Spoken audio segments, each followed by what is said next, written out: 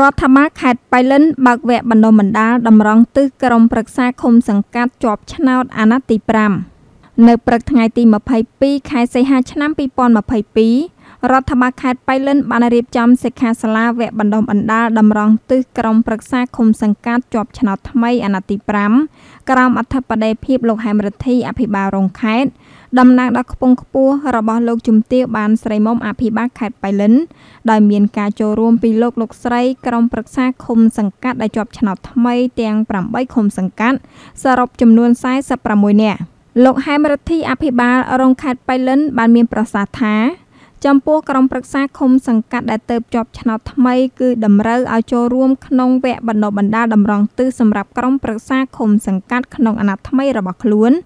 ដើម្បីសម្រួលដល់ការងារនៅរដ្ឋបាលឃុំសង្កាត់ឲ្យបានល្អប្រសើរ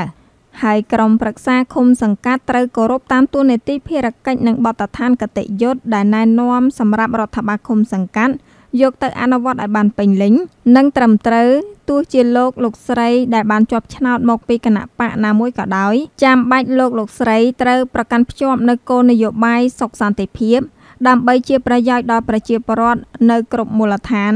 ជាពិសេសជាអាណាព្យាបាលសម្រាប់បម្រើសេវាជូនបងប្អូនប្រជាពលរដ្ឋក្រោមនយោបាយឈ្នះឈ្នះពោពេញដោយសុខសន្តិភាព ក្រោមការដឹកនាំដ៏ឈ្លាសវៃរបស់សម្ដេចតេជោក្រោមដំបូលសន្តិភាព លោកអភិបាលរងខេត្តបានបន្ថែមទៀតថា លោកលោកស្រីត្រូវមានគណនេយ្យភាពចំពោះប្រជាពលរដ្ឋ រាជរដ្ឋាភិបាលកម្ពុជា និងច្បាប់ ដែលបានប្រគល់សិទ្ធិអំណាចធនធាននិងការសម្រេចចិត្តក្នុងកិច្ចការដឹកនាំ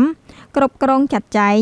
និងសម្រេចចិត្តក្នុងការអភិវឌ្ឍជូនប្រជាពលរដ្ឋឲ្យបានល្អប្រសើរ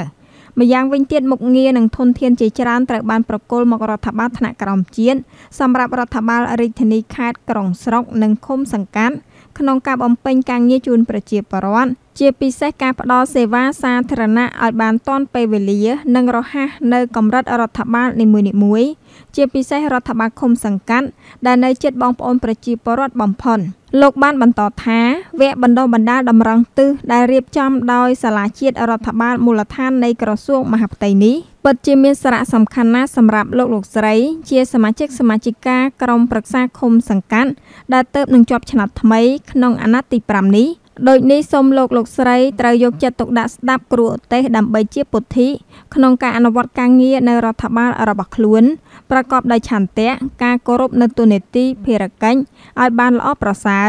ក្នុងវគ្គបណ្ដុះបណ្ដាលនេះរយៈពេល 2 ថ្ងៃ ដោយការយកចិត្តទុកដាក់ខ្ពស់ផងដែរ។